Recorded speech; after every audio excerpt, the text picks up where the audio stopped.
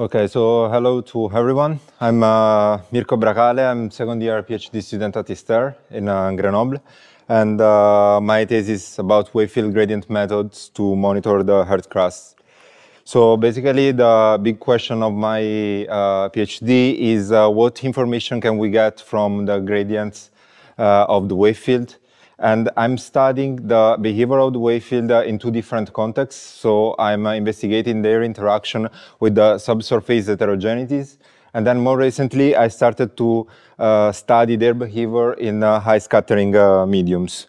So starting from uh, the first project, I here, here summarize the results that I had so far.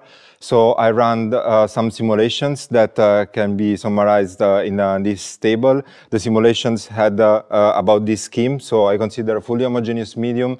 Then I placed inside a, a, region where there was a velocity change. And then I put receivers at the free surface. Then I investigate the sensitivity of the wave field and wave field gradients in terms of phase shift and amplitude change. And the interesting results that I have is that uh, we observe that if we look at the amplitude change, then uh, uh, the, if we are close to the heterogeneity, the gradients show larger um, uh, amplitude. And uh, we decided so to go uh, further in this, in this study by making a real experiment. So basically, in a couple of weeks, we will have this experiment in, in Grenoble in, uh, in, collaboration with two colleagues from uh, from Grenoble. Uh, there is a, so there is a field in which there is a foundation at one meter meter depth of made of cement, and we would like to use some DAS coupled also with the geophones and to use some active sources. So these, uh, let's say, once that we decided to do this experiment, of course, we uh, started to work also on simulations to understand what we are we expecting to see. So this is how it translates in uh, simulation. There is the foundation, uh, the DAS line, and then uh, a source in uh, this, this location. So I wanted to show here this because I, I think is interesting for our research. So uh, we compute uh, at the, all uh, the, the wall array the um, ratio between the energy of the strain over the acceleration.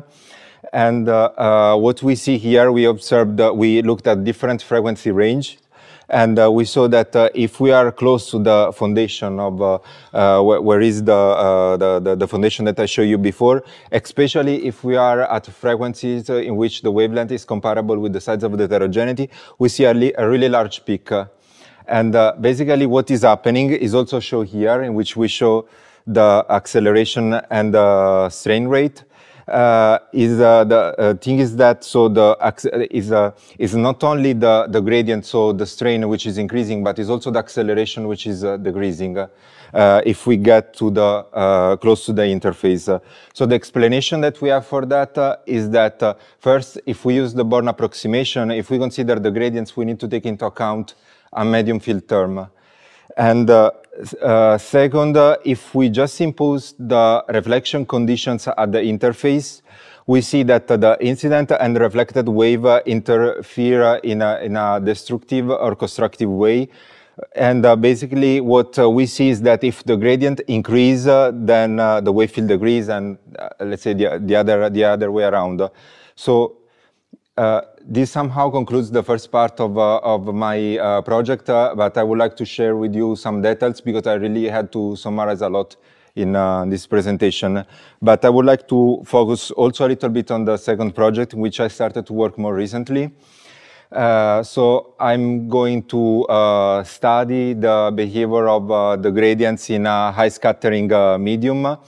And uh, uh, at the moment, uh, I built some simulations. So I built this um, an heterogeneous medium in which I consider the heterogeneity is uh, Laplacian correlated.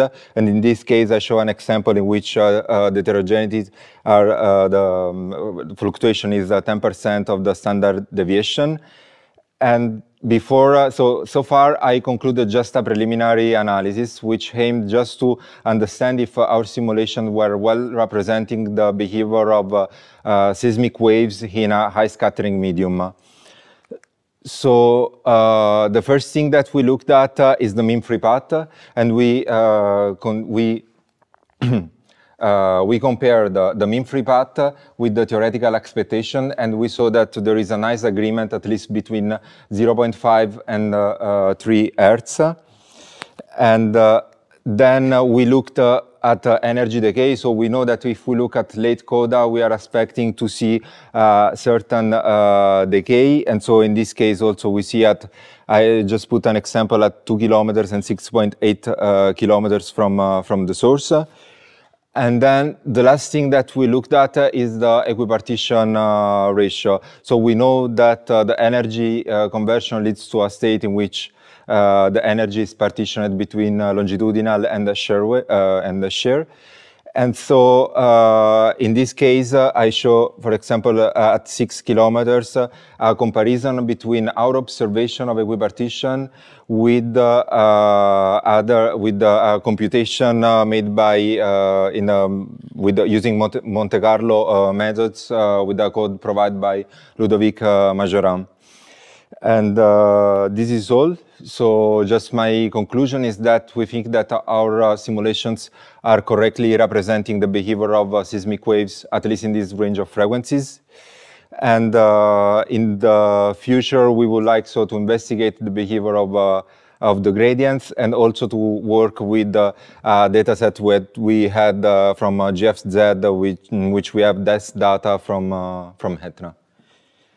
And uh, that's it.